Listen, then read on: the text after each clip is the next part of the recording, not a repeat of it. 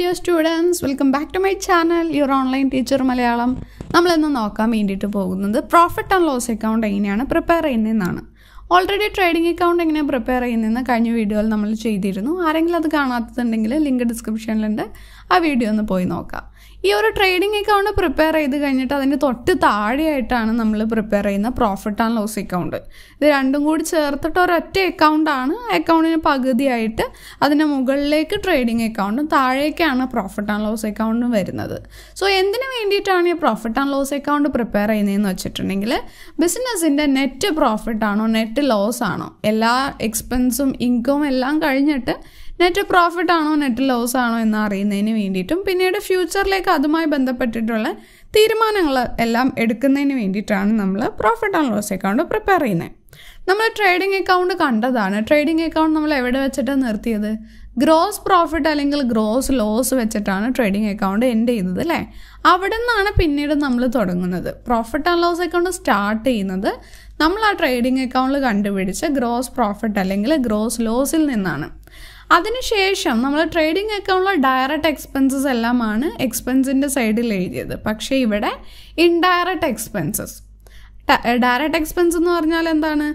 ഒരു മെറ്റീരിയൽ അല്ലെങ്കിൽ ഒരു പ്രോഡക്റ്റ് പ്രൊഡ്യൂസ് ചെയ്ത് അത് നമ്മൾ ഗോഡൗണിലേക്ക് മാറ്റുന്നത് വരെ അതുമായി ബന്ധപ്പെട്ട് വരുന്ന എക്സ്പെൻസസ് ആയിരുന്നു ഡയറക്റ്റ് എക്സ്പെൻസ് കാരണം അത് ആ പ്രോഡക്റ്റുമായി നേരിട്ട് ബന്ധം വരുന്ന എക്സ്പെൻസസ് ആണ് അല്ലേ? പക്ഷേ ഇൻഡയറക്റ്റ് എക്സ്പെൻസ് എന്ന് പറഞ്ഞാൽ അതിന് ശേഷമുള്ള എക്സ്പെൻസസ് ആണ്.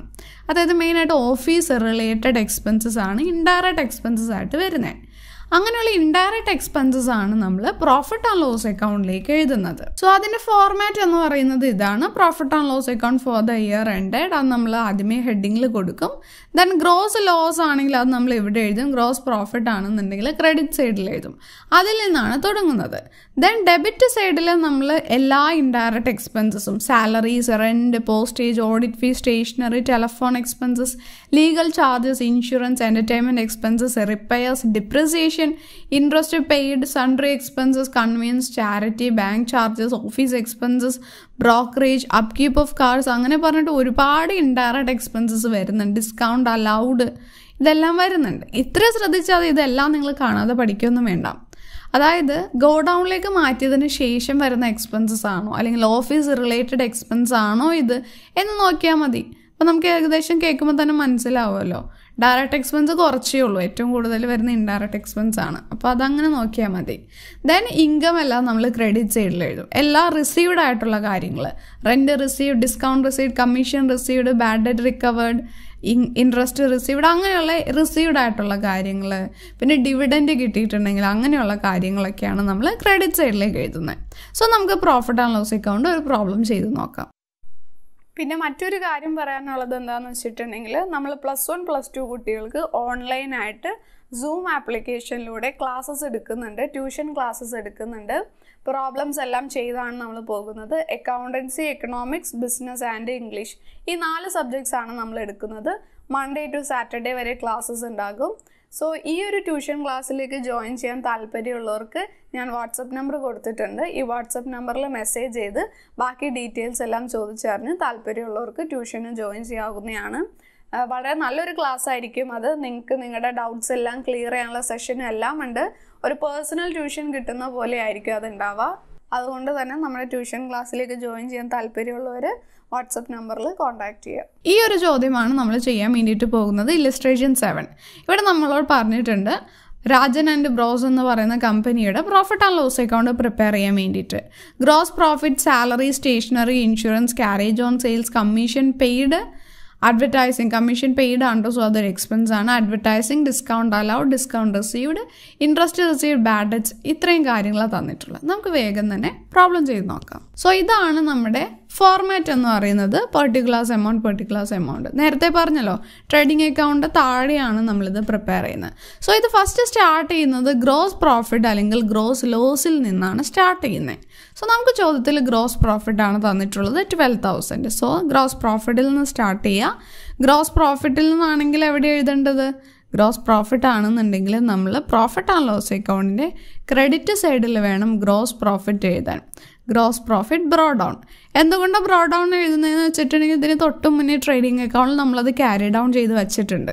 സോ അതുകൊണ്ടാണ് ഇവിടേക്ക് അത് ബ്രോ ഡൗൺ ചെയ്യുന്നത്. Gross profit brought down twelve thousand then ഓരോ ഐറ്റവും നോക്കുക എക്സ്പെൻസ് ആണോ ഇൻകം ആണോ ഡയറക്റ്റ് എക്സ്പെൻസ് ആണോ എന്ന് നോക്കുക എഴുതുക അത്രയേ ഉള്ളൂ. ആദ്യം നോക്കി salaries four thousand five hundred salaries എന്ന് പറയുന്നത് ഒരു ഇൻഡയറക്റ്റ് എക്സ്പെൻസ് ആണ് അല്ലേ? സാലറീസ് എന്ന് പറയുമ്പോൾ എംപ്ലോയീസിന് സ്ഥിരമായിട്ടുള്ള ആളുകൾക്ക് കൊടുക്കുന്ന മന്ത്ലി കൊടുക്കുന്നതാണ് സാലറി അതേസമയം വേജ് എന്ന് പറയുമ്പോൾ ഡെയിലി വേജാണ് ദിവസക്കൂലിയാണ് വേജ് എന്ന് പറയുന്നത്. അത് വേജ് എന്ന് പറയുമ്പോൾ ടെമ്പററി വർക്കേഴ്സിന് കൊടുക്കുന്നതാണ് അത് ഡയറക്റ്റ് എക്സ്പെൻസിൽ വരും. പക്ഷേ സാലറി എന്ന് പറയുന്നത് ഇൻഡയറക്റ്റ് എക്സ്പെൻസ് ആണ്. സോ അതിവിടെ വരും. ദെൻ നെക്സ്റ്റ് എന്ന് പറയുന്നത് സ്റ്റേഷനറി എക്സ്പെൻസ് സ്റ്റേഷനറി ഐറ്റംസ് വാങ്ങിച്ചത് അതുമായി ബന്ധപ്പെട്ട് വരുന്ന എക്സ്പെൻസ് ആണ്. സോ അതും ഒരു ഇൻഡയറക്റ്റ് എക്സ്പെൻസ് ആണ്. എക്സ്പെൻസ് ആയതുകൊണ്ട് ഡെബിറ്റ് സൈഡിൽ വേണം നമ്മൾ എഴുതാൻ വേണ്ടിയിട്ട് stationery two fifty then next എന്ന് പറയുന്നത് ഇൻഷുറൻസ് ചാർജസ് ഇൻഷുറൻസ് പ്രീമിയം അടച്ചതാണ് ടു ഹൺഡ്രഡ് അതെന്താണ്? ഓഫീസ് റിലേറ്റഡ് എക്സ്പെൻസ് ആണ് അല്ലേ? സോ ഇൻഷുറൻസ് ആ ഒരു പ്രോഡക്റ്റുമായിട്ട് നേരിട്ട് അതിന് ബന്ധം വരുന്നില്ലല്ലോ. സോ അതുകൊണ്ട് insurance two hundred then next നോക്കാം ക്യാരേജ് ഓൺ സെയിൽസ് വെറുതെ ക്യാരേജ് എന്നായിരുന്നെങ്കിൽ നമ്മൾ അതിന്റെ ട്രാൻസ്പോർട്ടേഷൻ പോലെയുള്ള ചാർജ് വരുന്നതാണ്. അപ്പോൾ അത് നമ്മൾ ട്രേഡിംഗ് അക്കൗണ്ടിൽ എഴുതിയാണ്. പക്ഷെ ഇത് സെയിൽസുമായി ബന്ധപ്പെട്ടിട്ടാണ് വിൽക്കുന്നതുമായി ബന്ധപ്പെട്ടല്ലേ? ഗോഡൗണിലേക്ക് മാറ്റുന്നത് വരെയുള്ള എക്സ്പെൻസ് ആണ് ഡയറക്റ്റ് ആയിട്ട് വരുള്ളൂ. ട്രേഡിംഗ് അക്കൗണ്ടിൽ വരുള്ളൂ. അത് കഴിഞ്ഞുള്ള എല്ലാ എക്സ്പെൻസും പ്രോഫിറ്റ് ആൻഡ് ലോസ് അക്കൗണ്ടിലാണ് വരുന്നത് സോ അതുകൊണ്ട് തന്നെ ക്യാരേജ് ഓൺ സെയിൽസ് എന്ന് പറയുന്നത് ഇൻഡയറക്റ്റ് എക്സ്പെൻസ് ആയിട്ട് വേണം എടുക്കാൻ വേണ്ടിയിട്ട് അതെന്ന് പറയുന്നത് പ്രോഫിറ്റ് ആൻഡ് ലോസ് അക്കൗണ്ടിലാണ് വരുന്നത് ഫോർ ഫിഫ്റ്റി ദെൻ നെക്സ്റ്റ് നോക്കുക കമ്മീഷൻ പെയ്ഡ് കമ്മീഷൻ നമ്മൾ പേ ചെയ്തു. എക്സ്പെൻസ് ആണല്ലോ. കമ്മീഷൻ റിസീവ്ഡ് ആണെങ്കിൽ ഇൻകം ആയതിനെ പക്ഷെ ഇവിടെ കമ്മീഷൻ പെയ്ഡ് ആണ്. പേ ചെയ്തിരിക്കുന്നതാണ്. അതുകൊണ്ട് അതും എന്ന് പറയുന്നത് ഒരു എക്സ്പെൻസ് ആണ്. സോ കമ്മീഷൻ പെയ്ഡ് എക്സ്പെൻസ് ആണ് എയ്റ്റ് ഹൺഡ്രഡ് റുപ്പീസ് എക്സ്പെൻസ് ആയിട്ടുള്ള എഴുതാം. ദ നെക്സ്റ്റ് എന്ന് പറഞ്ഞാൽ അഡ്വർടൈസിങ് അഡ്വർടൈസിങ് ഒരു എക്സ്പെൻസ് അല്ലേ? സോ ഇൻഡയറക്റ്റ് എക്സ്പെൻസ് ആണ്. പ്രോഡക്റ്റുമായിട്ട് പ്രോഡക്റ്റിന്റെ ആ ഒരു പ്രൊഡക്ഷനുമായിട്ട് നേരിട്ട് റിലേഷൻ വരുന്നില്ല. ഇൻഡയറക്റ്റ് ആണ്. So advertising eight fifty advertising eight fifty എന്നുള്ളത് നമ്മൾ ഈ ഒരു സൈഡിലേക്ക് എഴുതാം. എക്സ്പെൻസ് സൈഡിലേക്ക് എഴുതാം. ദെൻ നെക്സ്റ്റ് ഡിസ്കൗണ്ട് അലൗഡ് നമ്മൾ ഡിസ്കൗണ്ട് ഒരാൾക്ക് കൊടുക്കുന്നു. അലൗ ചെയ്യാന്ന് പറയുമ്പോൾ നമ്മളെ സംബന്ധിച്ച് അതായത് ബിസിനസ്സിനെ സംബന്ധിച്ച് അതൊരു എക്സ്പെൻസ് ആണ്. അതേസമയം ഡിസ്കൗണ്ട് കിട്ടുകയാണെങ്കിൽ ഡിസ്കൗണ്ട് റിസീവ്ഡ് ഒരു ഇൻകം ആണ്. ഡിസ്കൗണ്ട് അലൗഡ് ഒരു എക്സ്പെൻസ് ആണ്. So discount allowed five hundred expense ആണ് ഡെബിറ്റ് സൈഡിൽ എഴുതുക. Discount allowed five hundred the next discount received അല്ലായിരുന്നു അത് ഇൻകം ആയതുകൊണ്ട് ഇവിടെ ക്രെഡിറ്റ് സൈഡിലേക്ക് എഴുതാം ഡിസ്കൗണ്ട് റിസീവ്ഡ് എമൗണ്ട് എന്ന് പറയുന്നത് സെവൻ ഹൺഡ്രഡ് റുപ്പീസാണ് നെക്സ്റ്റ് എന്ന് പറയുന്നത് ഇൻട്രസ്റ്റ് റിസീവ്ഡ് ഇൻട്രസ്റ്റ് കിട്ടി. സോ അതൊരു ഇൻകം ആണ്. അല്ലെ? റിസീവ്ഡ് ആണ്. സോ ഇൻട്രസ്റ്റ് റിസീവ്ഡ് തൗസൻഡ് നമ്മൾ എവിടെ എഴുതണം? ക്രെഡിറ്റ് സൈഡിൽ എഴുതണം. Interest received thousand then next bad debts bad debts എന്ന് പറയുന്നത് ഒരു എക്സ്പെൻസ് ആണ്. അതായത് കിട്ടാ കടം എന്ന് നമ്മൾ പറയാറുണ്ട്. നമ്മൾ കടത്തിന് കൊടുത്തിട്ട് അത് കിട്ടാതെ വരുന്നതാണ് ഈ ബാഡ് ഡെറ്റ് എന്ന് പറയുന്നത്.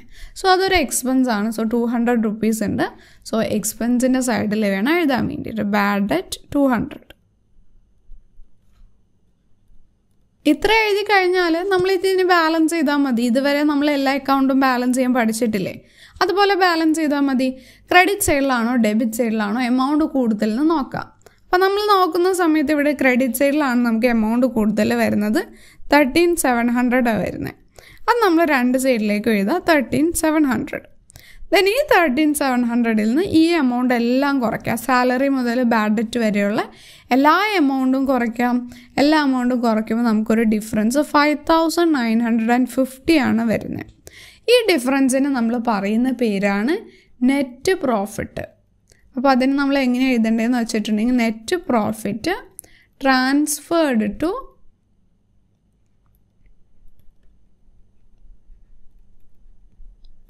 capital account എന്നാണ് എഴുതേണ്ടത്. Net profit transfer to capital account എന്ന് എഴുതാം. അതേസമയം ഈ ഒരു സൈഡിൽ ഈ ഒരു ക്രെഡിറ്റ് സൈഡിലായിരുന്നെങ്കിലോ ഡിഫറൻസ് നമ്മൾ അതിനെ net loss transfer to capital account എഴുതിയേനെ.